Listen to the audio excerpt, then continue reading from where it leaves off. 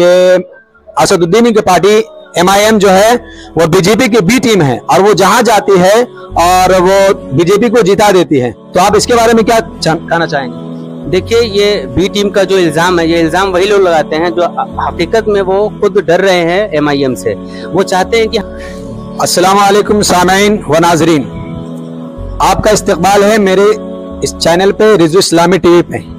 आप तमाम हजरात जानते हैं कि मैं असदुद्दीन अवैसी साहब के लिए वीडियो बनाता हूँ और खबर मिली कि हमारे बिहार शरीफ में अख्तर ईमान के ज़रिए शमीम अख्तर साहब को ये क्यादत मिली है कि वो एमआईएम में ज्वाइन करें और हमारे बिहार शरीफ में एमआईएम को मज़बूत करें। और हम लोग भी माशा एम आई को सपोर्ट करते हैं और उसे आगे बढ़ाना चाहते हैं। तो मैं इनसे पूछना चाहूँगा कि लोगों के दिलों में एक बात रहती है कि आपने एम ज्वाइन क्यों किया?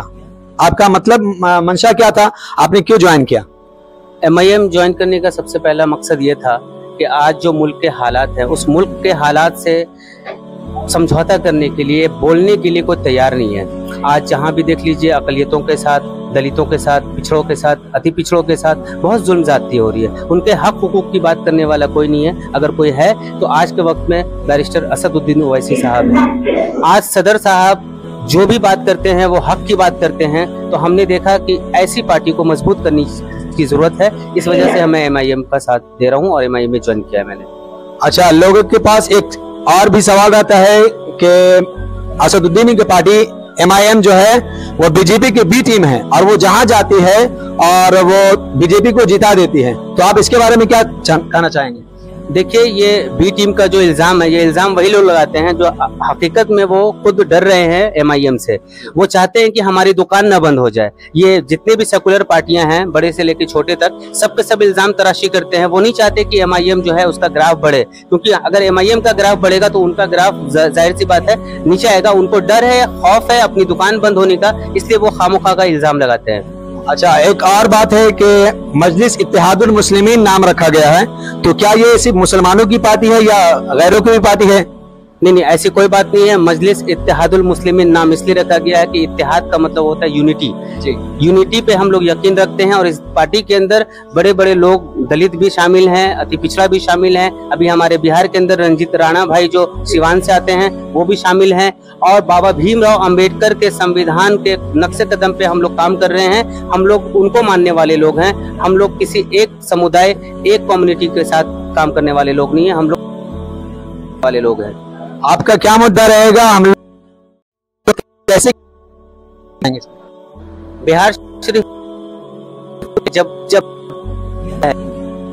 बॉडीज का इलेक्शन हो, चाहे वो हो, तभी भी इलेक्शन में हमने देखा है कि बड़ी बड़ी पार्टियाँ आती है और बड़े बड़े लीडर आते हैं बड़ी बड़ी बातें करते हैं, लेकिन सिर्फ़ बातें करते हैं, वो खाना पूर्ति होता है, ज़मीन पे इम्प्लीमेंटेशन नहीं होती।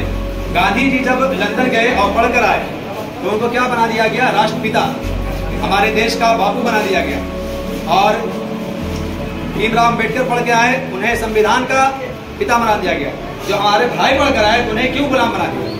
उनके ऊपर क्यों नहीं आवाज़ उठती है उन्हें भी कुछ आगे अहदा दिया जाए? अच्छा असद भाई ने और अब्दुल ईमान साहब ने भी ये आवाज़ उठाई थी कि आप हमें महागठबंधन में शामिल कर लें। उन्हें क्यों शामिल नहीं किया गया? पता चला कि हम लोग सत्रह परसेंट है। अगर ये आ गया तो डिप्टी सीएम बन जाएगा। इसलिए हमें शामिल नहीं किया गया।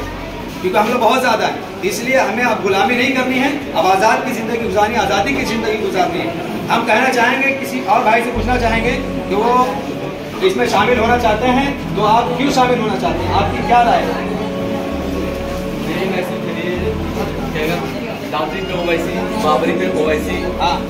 अब वक्त अमेंडमेंट बिल पे ओवैसी जब मुस्लिम मुसलमानों की हर बात को ओवैसी सब उठाएँगे। तो सेकुलर पार्टी बिल्कुल। भाई का कहना है कि सब चीज़ में ओवैसी, वोट में ओवैसी क्यों नहीं? जब बात आती है कि अभी वक्त पे बात आया तो वैसी बोलेगा, बाबरी हुई तो ओवैसी बोलेगा तो भाई वोट में ओवैसी क्यों नहीं बोलेगा? तो सबको डरा दिया गया है, अगर तुम ओवैसी को वोट दोगे तो बीजेपी जीत जाएगी। तो हम दूसरे को जिताने के लिए आए हैं। भाई, हम खुद लीडर बनने आए असद भाई ये नहीं कहते हैं कि हमारे शमीम भाई लीडर बने। असद भाई कहते हैं कि तुम किसी एक में सब तुम लीडर बनो। असद भाई अपना लीडर नहीं बनना चाहते, असर भाई तुमको लीडर बनाना चाहते हैं। इसलिए हमें लीडर बनना है और आगे बढ़नी है और अपने कौम के लिए आगे करना है।